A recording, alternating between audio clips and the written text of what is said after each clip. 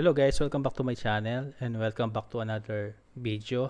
And today guys, may i-share ako sa inyo na Windows 10 image which is Windows 10 21H1. And naisipan kong mag-share ng image kasi mag-switch kasi ako guys ng diskless software from iCA P8 to CCU. Medyo maganda yung yung lumabas na version ng CCU ngayon. Sa CCU muna ako magpo-focus na mag-practice. Before ako mag-switch, naisipan ko mag-share ng image para sa inyo para magamit nyo sa iCA P8 9170 and 9180. Pwede rin yung magamit to sa iCA P8 9150 yung yung pinaka-latest or yung pinaka-last version na lumabas or yung mga or yung mga version na linabas ni 9150 na gumagamit na ng new uploader tool. So, silipin natin yung image. Kagaya sinabi ko, Windows 10 21H1 Lite version. Oprekin actually yung gumawa ng ISO nito kasi uh, last time guys nag nag-post ako nung untouched version ng Windows na trinay ko na pagpraktisan. Kaya lang medyo sablay para sa iCA P8 iba talagang gumawa yung mga pro na sa sa mga ISO baga yung mga nagko-customize talaga ng Windows. So itong version na to is uh, ayan 21H1 OS build 19 043.1023 and sa version na to guys uh, naka-enable yung Xbox services para sa mga games like uh, Forza. Kasi mostly yung mga operating na ISO uh, naka-disable talaga yung Xbox. So mag-contact muna tayo ng quick benchmark. Actually sa iCA P8 ang nakikita lang natin dito sa task manager is drive silang. So yung game disk natin hindi talaga natin siya nakikita. Sa CCU yan nakikita yan so try natin siyang i-benchmark. Mapapansin nyo yan maganda naman yung read speed niya. Maganda rin yung average response time niya. Kumbaga yung uh, latency niya maganda rin. Kumbaga mas responsive pa sa regular na hard drive. Okay?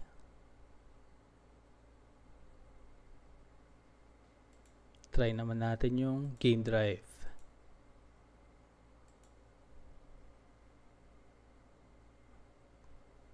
Kagaya sinabi ko, wala siya dito sa task manager. Dito lang natin siya tignan. Yung makukuha nyo naman guys na benchmark, dito is uh, depende rin yan sa server ninyo. And sa network na ginagamit ninyo. Mukhang responsive naman. Wala talaga akong problema sa mga ISO ni Oprekin. Baga, kapag sinabi niyang light, light talaga.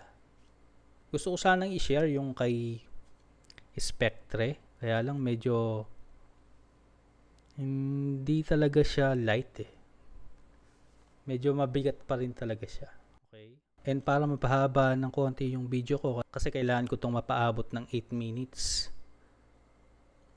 para sa mga ads. Minimum kasi ni YouTube is uh, 8 minutes video. Okay? Gagawin ko na lang is uh, sasagutin ko na lang yung mga previous na question sa FB page natin and yung mga comment natin dito sa channel. So first, may nagtanong kasi sa akin about dun sa pag-upload ng UEFI ready na na image yung new uploader ni iCA P8 is masasabi natin na hybrid na kasi pwede na siyang mag-boot ng UEFI and legacy PXE boot. So inuulit ko UEFI and legacy PXE boot. So pareho lang naman na PXE boot 'yan. Kaya lang ang pinagkaiba is yung isa UEFI and yung isa legacy or, yung BIOS na tinatawag. Although UEFI yung boot na ginagamit, yung partition sim pa rin guys ng image is MBR pa rin. Okay? Kaya wag kayong mag-upload ng image na naka GPT yung partition sim. Kasi kung mababasa nyo yung uploader natin is MBR read exe. Sabihin, MBR yung i-upload natin na image. Okay? Actually, may mga nagsasabi na mas maganda daw yung performance ng graphic card na na UEFI ready na sa speed naman sa booting is uh, pareho lang naman din yung nakikita ko. Wala rin naman difference yan. Hindi naman bibilis ang booting mo once nag-switch ka ng UEFI.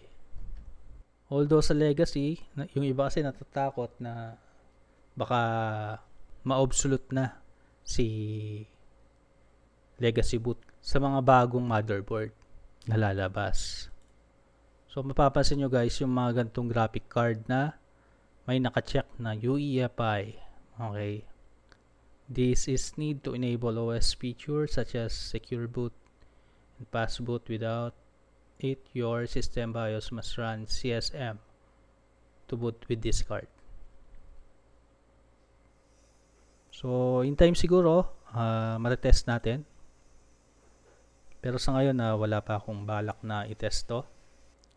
And yung mga supported lang guys ng UEFI PXE boot, yung mga usually guys mga DDR4 na na motherboard like yung mga H110 ng Intel from 6 gen pataas. Yung mga port and 5 gen hindi pa yan supported ng UEFI ng Windows 10 so pwede dyan yung mga Windows 7 and Windows 8 sa AMD actually hindi ko masyadong kabisado. Pero ang sigurado lang ako is yung mga DDR4 din nila.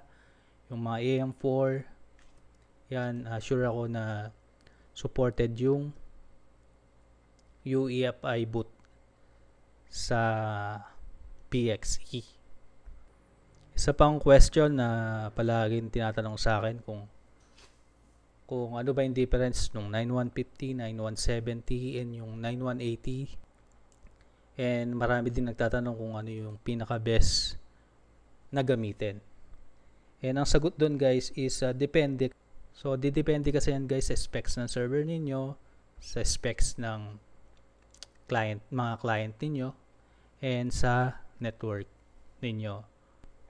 Kasi syempre, mas bago, mas ina-adjust nila yung yung performance. Lately lang yung 9180 sa mga merong client na naka 4GB lang, medyo nagkaka-problema. So, kung yung client ninyo is mga naka 4GB lang, uh, mag-stick na lang kayo sa 9170 or 9150. Kahit na ba Windows 7 lang yung ginagamit niyo. And I think hanggang dito na lang. And naabot na siguro ng 8 minutes yung video ko na to. Kung hindi man, uh, dadagdagan na lang natin. And, and sana nagustuhan nyo yung video na to. And kung nagustuhan nyo man, please click the like button and kung di pa kayo subscribe, please click the subscribe button and the bell button para palagi kayong updated sa mga tech video natin. And I'll see you all guys in my next video.